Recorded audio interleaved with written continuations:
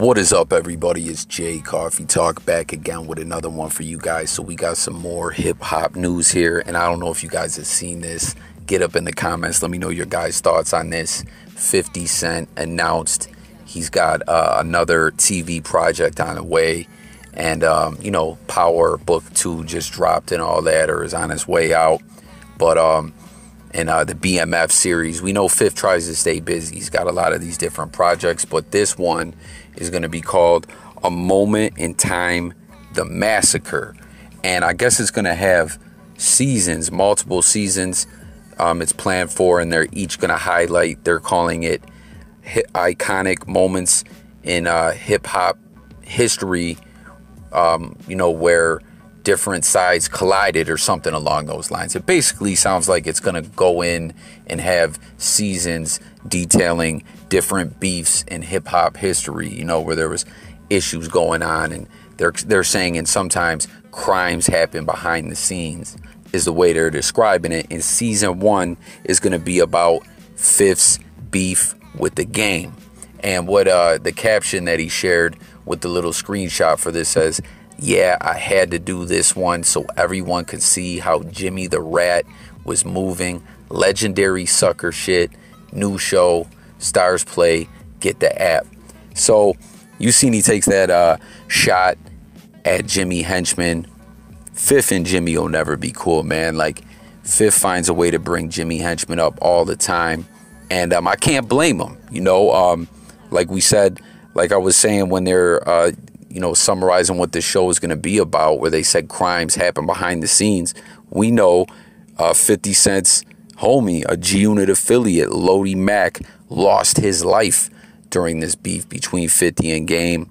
You know, we all know the story. Lodi Mack allegedly slapped uh, Jimmy Henchman's son, Little Henchman. Some say it was Yayo, and Lodi Mack just took, uh, you know, the the fall for it or whatever. Said he did it.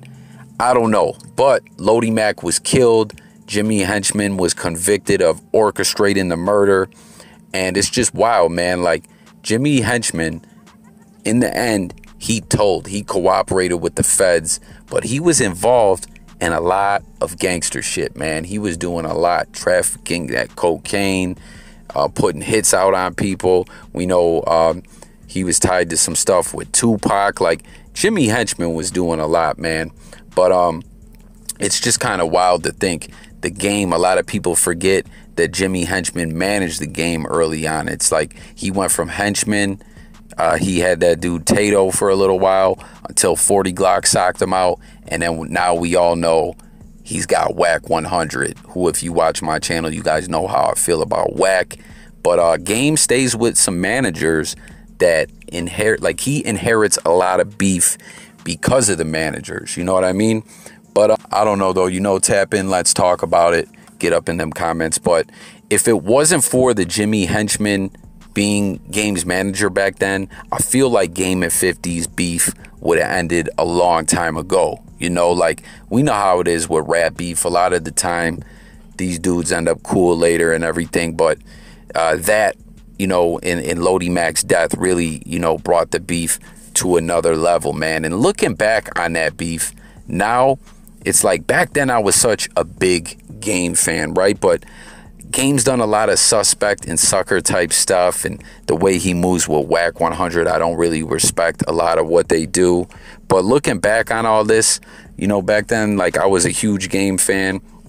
And I feel, as you see, the show has The Massacre in the title. And if you remember, that was the album that 50 pushed had to push back for, you know, to coincide with games release dates so they weren't going at each other when they were label mates. And I think Fif never really, you know, was happy about that.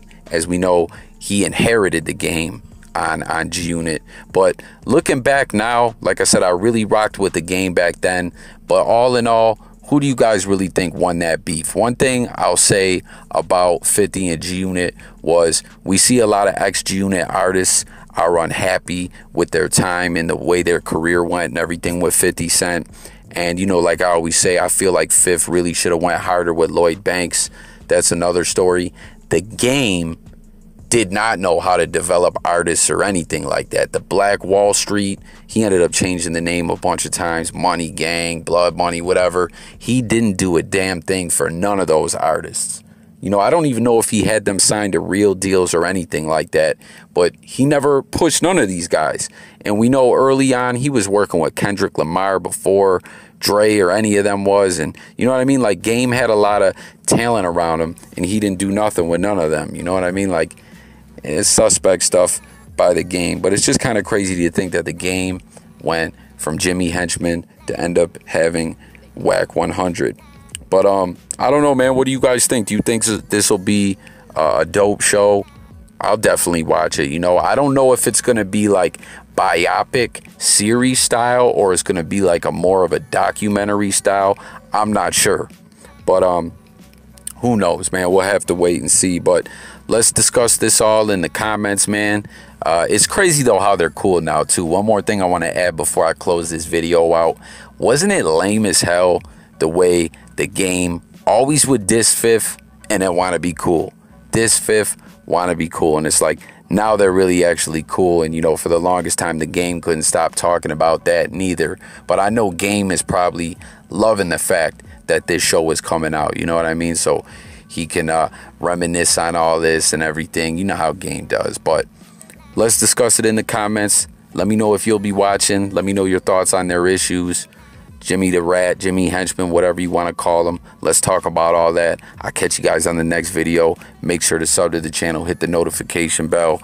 We cover much more than just hip hop over here. We got sports, current events, all kinds of different topics. I'm out of here, you guys. I'll catch you on the next one. Peace.